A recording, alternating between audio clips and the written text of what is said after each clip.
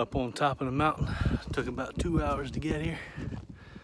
Trying to do a ptarmigan hunt before the end of the season. You can see how high up we are. We're up here. I really wanted to try out my new boots. Meindls. I came on up here the other day to try the ptarmigan hunt. And whenever I got down, my legs and my knees were killing me. So I knew I needed to get a new pair of boots. So I did. Got some Meindls, German made. Let me tell you, it's night and day going up and down this mountain with the right pair of boots on. So if you're one of those like me wants to go cheap and you don't need a good pair of boots, you need to grow up and buy a good pair of boots because it is definitely all the difference in the world. If you don't have them, you don't get to see this. That's Beaver Inlet, Alaska over there, the other side of Unalaska Island. I can see the other side of the island. That's Dutch Harbor over there.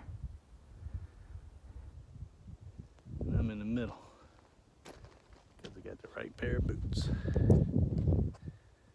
I got one ptarmigan, hoping to get five or six more.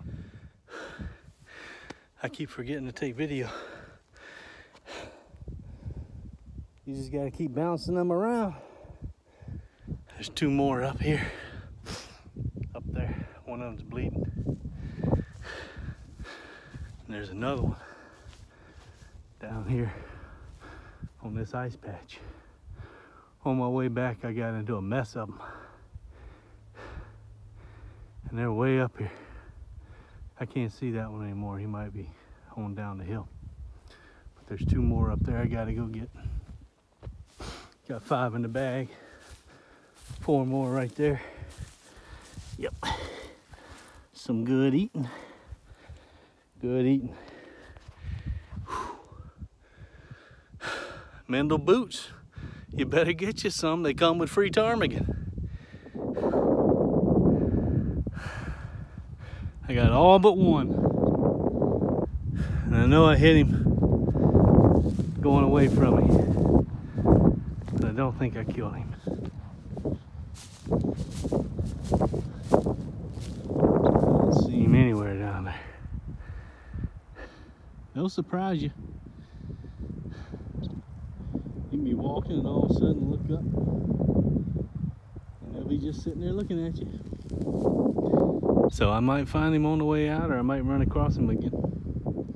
He didn't land anywhere close, I can tell you that. He kept on trucking to the bottom down there somewhere.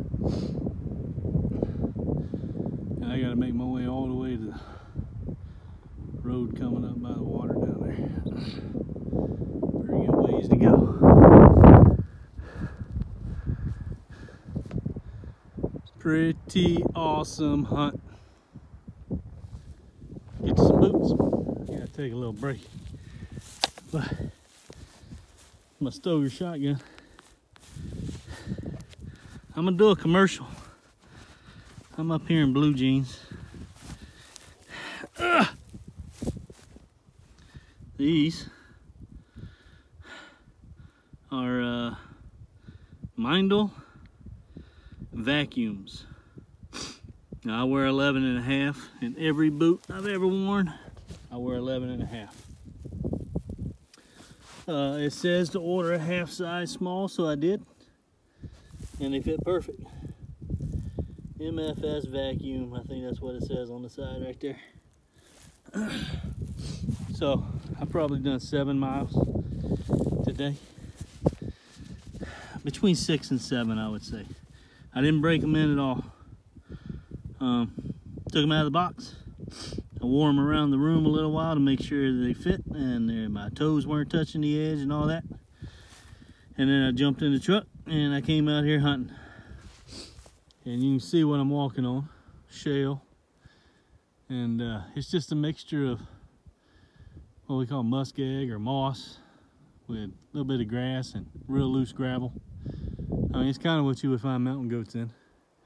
There's no mountain goats out here, but that's what you would find.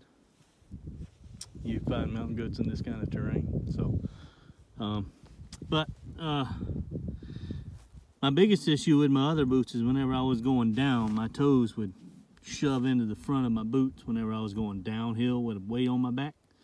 Like if I was carrying a, a goat or a deer or something out. And they sucked. These, the soles are extremely stiff. They say that you can put crampons on them. Um, not extremely stiff. They have a little bit of flex, but they're they're stiff. And for for hiking, they're not good. But for up here, I've been able to side hill a hundred times better than I've ever been able to side hill before in my other cheap Cabela's boots. I have not had any problem side hilling on this rock, moving around. Uh, it's got really nice loops, no sharp edges to cut your laces. I do have a feeling that the laces will fray on them, but the leather is very nice. It's got a leather upper instead of uh, some kind of piece of crap nylon or something leather right there with cushioning, leather tongue. They're waterproof, rubber around the edge. Looks to be like very good quality. $300, they ought to be good quality. They're very nice boots. However, they say you don't have to break them in. I think you do. Both my big toes, uh, I can tell they're starting to get a little sore on the bottom, on the balls of my big toe. And right here on both legs where this this right here pushes in to my leg that's why I undid this top lace to see if it would let it loosen up a little bit it really hurts it really hurts so I'm hoping that uh, it'll just conform to my foot and it'll, it'll it won't hurt as much after I wear them three or four times other than that um, it's a little sore on the outside of my foot right there. I do not have a wide foot. I never wear a wide anything. It's a little bit sore right there, but I have been, the, the downhill side has been on my left for the most part of this hunt. So I can I can say that might be why that is, but uh, and hopefully after two or three hunts, it won't hurt there anymore. Hopefully these are just pressure points that are getting broke in. My other foot, um,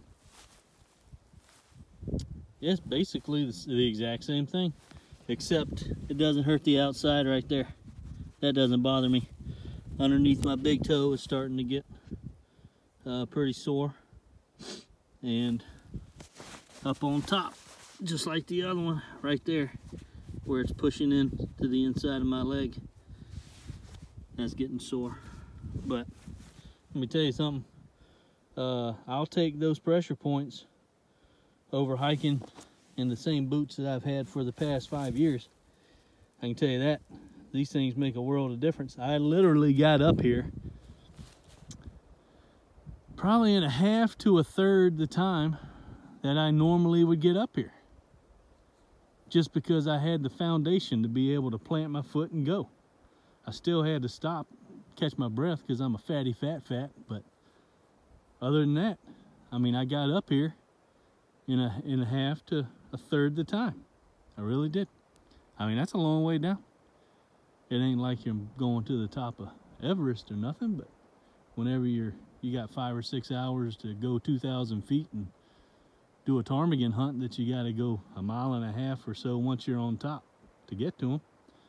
You know, you need you need to be able to move. So I like them. And we'll take pictures of the ptarmigan hopefully whenever I get down.